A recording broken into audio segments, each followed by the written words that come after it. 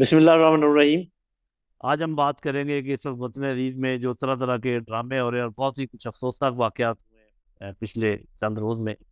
उनका ज़िक्र वो तो आपको पता है कि इस्लामाबाद हाई कोर्ट से कैसे खींच के ले गए एक तरीके से इमरान खान साहब को। वो तरीक़ाकार जो है, वो सबने देख लिया Supreme Court even High Court ने उस तरीक़ाकार को गलत कहा था। सुप्रीम कोर्ट ने उस पूरे जो मामले को ख़त्म कर दिया।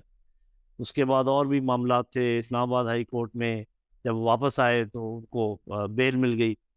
कुछ जो हाई कोर्ट है लाहौर बेंच उन्होंने भी कोई ऐसे दिए जो कि, के हक में गए। फिर एक सेशन जज ने वो जो निकाह वाला मामला था, उसको भी नल एंड वर्ड कर दिया। तो लगातार बहुत सारी रिलीज़ मिली। आ, लेकिन देखने की बात यह है कि पीडीएम ने हर एक हर एक वर्डर की मुखालफत की। यानी कि उनके ख्याल में सुप्रीम कोर्ट भी बाइस्ड है इस्लामाबाद हाई कोर्ट भी बाइस्ड है लाहौर हाई कोर्ट भी बाइस्ड है सेशन जजेस भी बाइस्ड है। तो फिर अरे भाइयों तो फिर है कौन? खुदा न खास्ता ये सारे जजेस ना कॉम्प्रोमाइज हैं हमारे ख्याल में और ना ही किसी प्रेशर में आने वाले हैं। तो ज़रा अपने गिरबानों में भी उनको जान कर देखना चाहिए कि या फिर ये सारे वर्डिक्स ऐसे क्यों आ रहे हैं।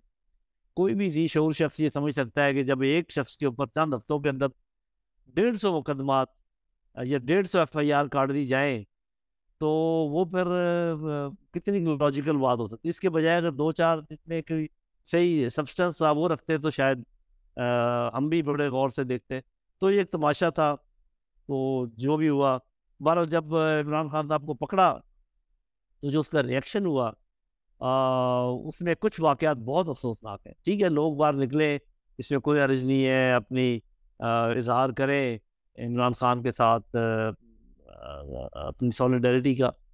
लेकिन हमले करना आग लगाना और ख़ास कर मिलिट्री इंस्टॉलेशंस को निशाना बनाया गया। हालाँकि उनका झगड़ा तो पॉलिटिकल है और किसी भी पॉलिटिकल सिंबल की तरफ़ वो नहीं गए। खैर, किसी तरफ़ भी नहीं जाना चाहिए था, चले वो अपना धरना दे सकते थे, कोई प्रोसेशन निकाल सकते थे, लेकिन फिज़िकली वायलेट किया गया।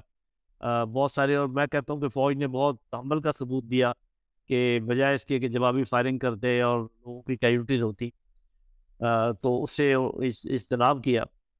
एक लिहाज से अच्छी बात है, लेकिन खैर इतना भी नहीं होना चाहिए था, जैसे कि एक बिल्कुल आप घर के अंदर घुस जाए और फिर भी कोई रिएक्शन ना हो। बार वो जनरल साहब की अपनी मर्ज़ी थी और इसको इस वक्त फौज भी देख रही होगी। मेरा अपना ख्याल ये कि वे फॉरवर्ड पर ज़्यादा हमारी तोज्जा होनी चाहिए। मेरे अंदाजे में पाँच स्टेक होल्डर्स हैं इस वक्त, इस पूरी सिचुएशन के। नंबर एक पीटीआई नंबर दो PDM number three army number four सबसे बड़ा stakeholder people of Pakistan अवाम और एक स्टेक होल्डर जिसका कहीं ज़िक्र नहीं आता, वो है जो हमारी दुश्मन इंटेलिजेंस एजेंसीज जो इस पूरे मामले के ऊपर वक्ता फ़क्ता मेरे ख्याल में तेल छिड़क रही है ताकि आग भड़कती रहे और ये किसी तरीके से बुझ ना जाए। तो ये जो आप देखते हैं कि कभी लोग करीब आने लगते हैं, कोई उड़ती हैं बातें किसी माहे की, उसके बाद फिर दोबारा ये मामला हो जाता तो मेरे जो, पहले भी मैंने कहा हुआ अपने वी में कि कोई ऐसे पॉलिटिकल हिटमैन मौजूद है तीनों जगह पर जो अनाव की मालिश कर रहे हैं और इनको अपने अना से आगे बढ़ने नहीं दे तो मेरे दिन में जो फार्मूला आता है, वो उसका मैं ज़िक्र कर देता हूँ। बाकी साफ़ ज़रा मर्ज़ी है करने वालों की, ये कौन करवाएगा, मुझे नहीं मालूम। ये तो बात मैं मानता हूँ असूली तौर पर कि एक ही दिन इंतबात होने चाहिए पूरे मुल्क में, क्योंकि उस, अगर वो ऐसा ना हो तो बहुत सारे मसाइल पैदा होंगे हमेशा के लिए वो मसाइल पैदा पैदा ऐसे ही रहेंगे। वो सितंबर हो सकता है आगे पीछे हो सकता है।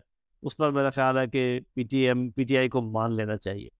लेकिन पीडीएम को जवाब में पीडीएम गवर्नमेंट को ये करना चाहिए कि जितनी लीडरशिप आपने पकड़ी हुई है, इमरान खान पर जितने आपने एफ़ आई आर काटी हुई हैं, उसमें तो जो जेनुन है वो आप दो चार उसको परसू करें और बाकी सारी कैंसिल करें और ख़त्म करें और सारे उनके लीडर्स को छोड़ें। लीडर अंदर होंगे तो ज़्यादा प्रॉब्लम होगा, कोई गाइड करने वाला नहीं होगा मॉब्स को कि भाई क्या करना है, क्या नहीं करना।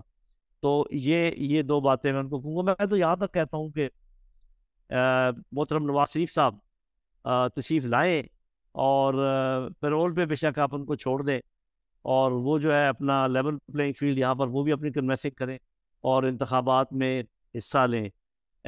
जिस तरीके से भी हो सकता है। इमरान खान साहब से एक और मेरी रिक्वेस्ट है कि देखिए अरशद शरीफ के केस में भी एक सो मोटो एक्शन के बाद एक बना दिया गया है।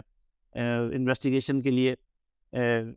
मामला उसके अलावा जो आपके ऊपर हमले हुए उसकी भी जीआईटी बनी हुई है खैर और जैसी भी है।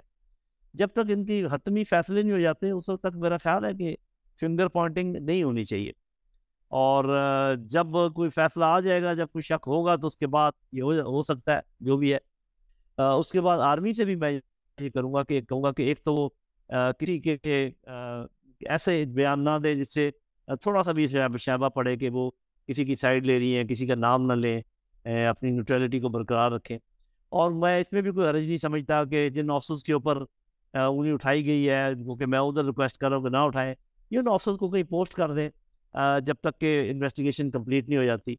तो मैं ये समझता हूँ कि अगर ये सबने अक्लमंदी का सबूत ना दिया तो वो जो मैं पाँचवा स्टेक होल्डर कह रहा हूँ कि दुश्मनों की इंटेलिजेंस एजेंसीज फिर वो खुदा न खास्ता जीत ना जाए। अदरवाइज़ आप एक दूसरे को हराने की कोशिश में एक दूसरे को कमज़ोर करेंगे और मामला ख़राब होते जाएँगे पाकिस्तान के लिए। बहुत शुक्रिया। असल